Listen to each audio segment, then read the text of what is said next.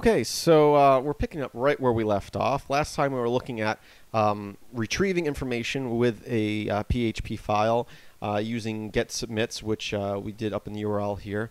Um, but now let's actually create an HTML form that people can fill out and submit. So once again, we're looking at uh, retrieving two pieces of information from the user. Excuse me, the user, the user name and their phone number, and we're using in this case a get form submit. So we're going to have to submit a username and phone number. Um, but remember, user and phone are what we're calling these. I'm going to save that. Once again, I'm using Vim as my text editor. Use whatever text editor you feel comfortable with, as long as it's a text editor, not a word processor. Um, my PHP script's called uh, uh, get.php. I'll just call my HTML file uh, get.html. And um, to be proper, we're we should have an HTML tags here and body tags.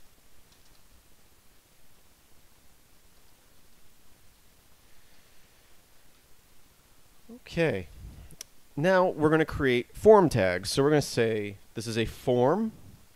It's going to have an action. The action is where we're going to be submitting it to, which I just said we got our get.php. Since it's in the same directory, I just need to put the same name, the name of the file.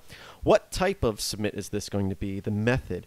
So uh, the method in this case is going to be get.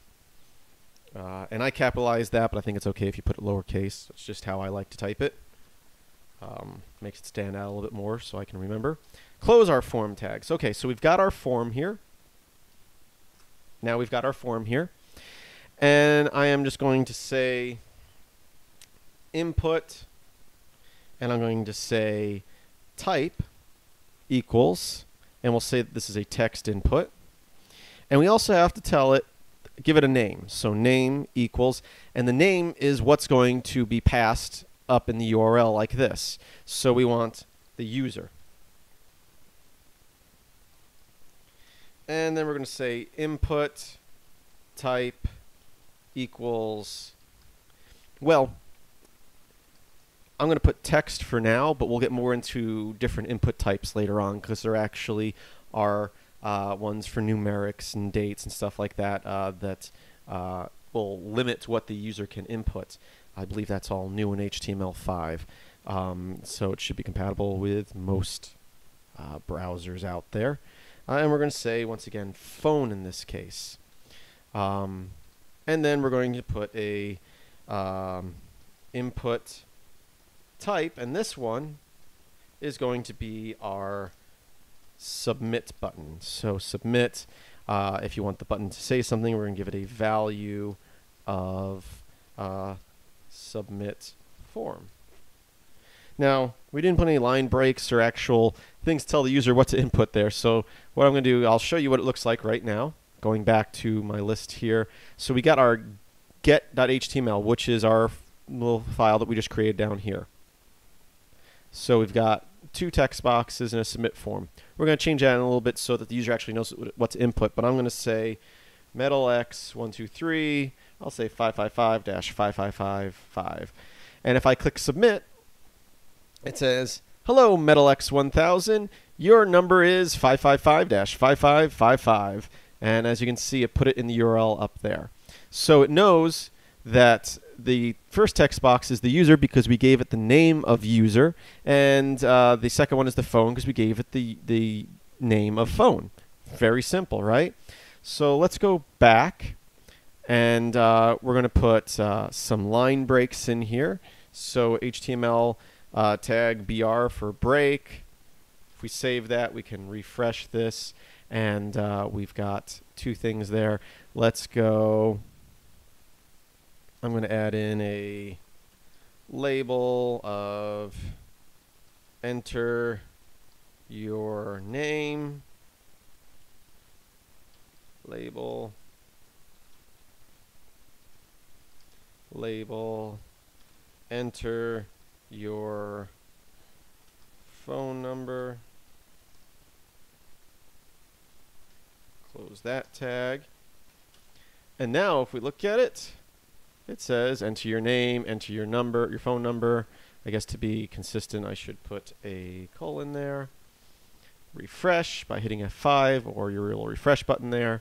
And now we know if we type in um, Kris, that would be me, 555-5512, uh, and I can either hit enter or click submit. I'll just hit enter. It submits the form. You can see it works very fast. Yeah, I'm working on a local machine here, but even when you're working on a remote website, uh, it should be pretty fast. So hello, Kris, and your number is that. Uh, so that is a basic form of a get submit. Uh, next tutorial, we'll start working with post, which is going to be very similar in the way you write your code, but it doesn't uh, garble up your URL here. I mean, this is great because I can now copy and paste this and give that URL to somebody and would give the output to it. But uh, in other cases, you may not want it up there. You may want just to say um, that and uh, nothing else, so it looks a little cleaner. So it all depends on what you're trying to accomplish. Um, definitely, if you want to be able to save the URL, uh, and even if you put it in a tiny URL link, which actually here, let me refresh this. Uh, let's submit. If I was to take this, copy it, and go to tinyurl.com, paste it in there, and take this URL here, even though it doesn't show all that stuff, it's going to pass that information to it. So I'll open up a new window here, and if anyone tries typing this, it won't work for them because I'm running this on my local network.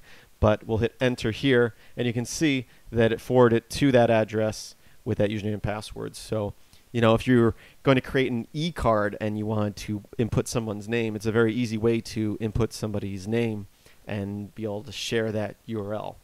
Anyway, thank you for watching. Uh, I'm not going to babble on like I did in the last tutorial here at the end, um, but I hope you're looking forward to stuff we're coming up uh, with all this stuff. Uh, this pretty much whole year is going to be on uh, web-based stuff. Uh, of course, there's other tutorials as well, Blender and Bash and other shell script stuff. But if you have any questions, please feel feel free to visit my site, filmsbykris.com. That's Chris with a K. Should be a link in the description. If you have questions, just go there, click on Social Network IRC under Help, and it'll bring you to my IRC channel where you can chat with me and other people if I'm there. I'm not always there. I do have a life. Um, but hopefully other people can help you with certain things.